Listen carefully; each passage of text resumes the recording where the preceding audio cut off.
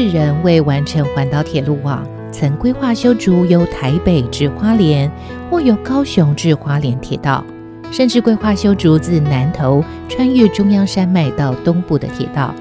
该计划因经费庞大且难度较高而搁置。但铁道部仍认为东部铁道有其必要性，于是决定先新竹宜兰线、台东线及屏东线。至于苏澳到花莲间的北回铁路，以及台东至芳寮间的南回铁路，则因都高山人烟少而被列为环岛的最后路段。一九二四年，八堵至苏澳间九十五公里的宜兰线完工后。纵贯线铁路已经从八堵向东延伸至苏澳，在新建宜兰线的同时，台东线及屏东线也积极进行施工。铁道部的持续探勘及快速延伸铁道，足以彰显日治时期政府及民众对环岛铁路的高度期待。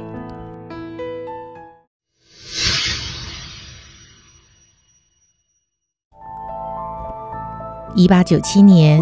临时台湾铁道队长山根武亮率队沿花东纵谷勘察台东线，并由花莲港巡海路抵苏澳，勘察宜兰线后抵达基隆。半年后，勘察报告指出，工程容易，但是花东缺乏优良港湾，加上人口较少，没有经济效益，所以此一计划因而中断。一九零七年。左九兼左马太总督巡视东部后，决定优先兴建花莲港至蒲石阁的路段，并于一九零九年成立铁道部花莲出张所，开始兴建台东线铁路。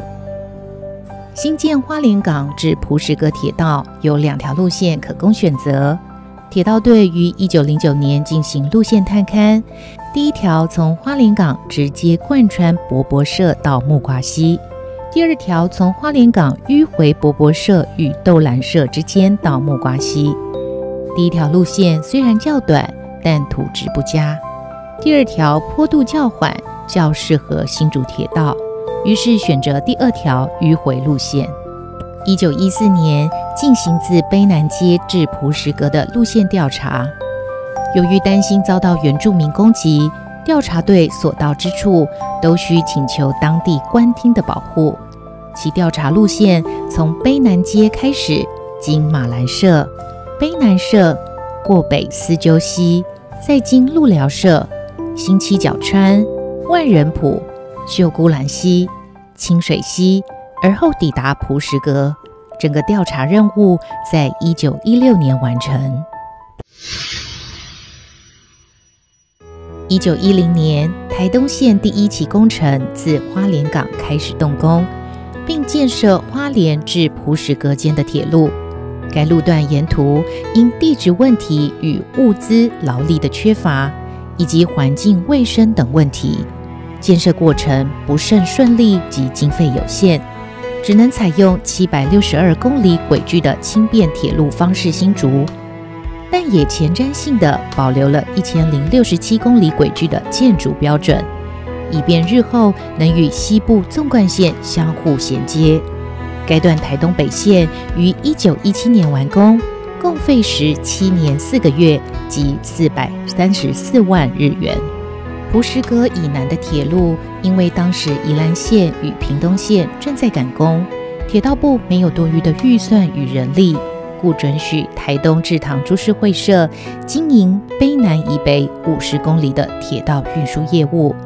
该会社原本就有制糖专用的铁路，为了连接所有的制糖铁道，建造出路尾溪桥以及大埔的平原铁道后，抵达里陇、新五旅、台东至里陇间的铁路，为当时的台东开拓会社所建，并于一九一九年十二月六日通车。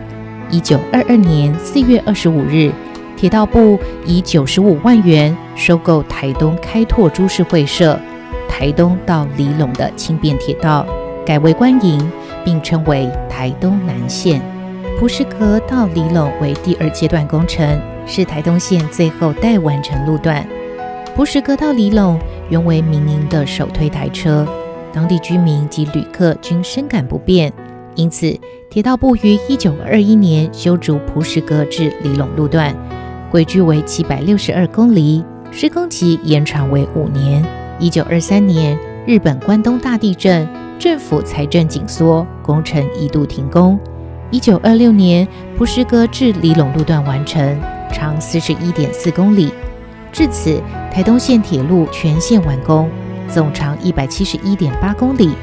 一九二六年三月二十五日，于蒲石阁举行全线通车典礼。屏东地区自然条件优越，生产大量的稻米及甘蔗，但纵贯线只见到高雄。铁道部于是决定于一九零七年先完成从高雄港站经凤山到九曲塘段的凤山支线，并于一九零八年通车。凤山支线是屏东线的前身。九曲塘至六块厝间需跨越高平溪，旧称下淡水溪。高平溪全长一百七十一公里，是台湾第二大河，河面宽度超过一千五百公尺。河水湍急，雨季经常泛滥成灾。跨越高平溪是新建屏东线铁路最大的难题。为新建下淡水溪铁桥，总督府先利用堤防引导水流，并在枯水期施工，由铁道部技师范田丰二督造。工程期间，设施多次被河水冲垮。除了工程艰难外，当时也流行疟疾。造成十六名人员死亡。经过多年努力，下淡水溪铁桥终于在一九一四年完成。铁桥总长一千五百二十六公尺，桥墩二十四座，总工程费一百三十万元，在当时有东亚第一铁桥之称。下淡水桥的完成，使铁路顺利从九曲塘延伸到屏东。范田丰二是日本静冈县人。日治时期，负责建设屏东线铁路，在督造下淡水溪铁桥时，因为负责尽职，积劳成疾。一九一三年病逝于台南医院，享年四十岁。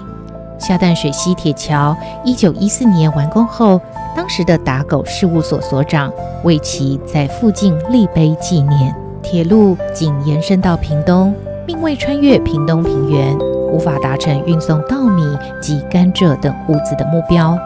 铁道部于一九一五年提出新建屏东至芳寮的铁道计划，起初因预算不足未获同意。经过两年的努力，于一九一七年获准，并于阿沟设置建设事务所，将屏东线继续向南延伸。一九一九年延伸到竹田，竹田是当时米谷水路转运站。一九二零年，铁道延伸到潮州后，因预算问题停工。一九二二年复工。一九二三年延伸到西周，当时南州糖厂每日甘蔗量达一千两百公吨，西周是甘蔗的重要转运站。一九二三年，日本发生关东大地震，屏东线延伸至西周后暂停施工。一九二三年。芳寮及东港等地居民请愿，希望铁路再向南延伸至恒春，以及新建东港支线。唯因当时日本财政困难，一九三六年日本国会才通过铁路预算，同意将铁路自西周延伸至芳寮，并同意新建东港支线。一九四零年因军事需要，新建东港支线，自西周经设边。大鹏延伸至东港，并在大鹏站延伸一条军用支线至大鹏湾的东港海军航空队营区，形成支线中的支线。一九四一年，铁路延伸至芳寮，历经三十四年的屏东线全线通车。一九四四年，二次大战为避免美军自芳寮突袭，临边至芳寮间路线因战时钢料缺乏，成为不要不及线。而被拆除，作为军事之用，直到光复后才恢复通车。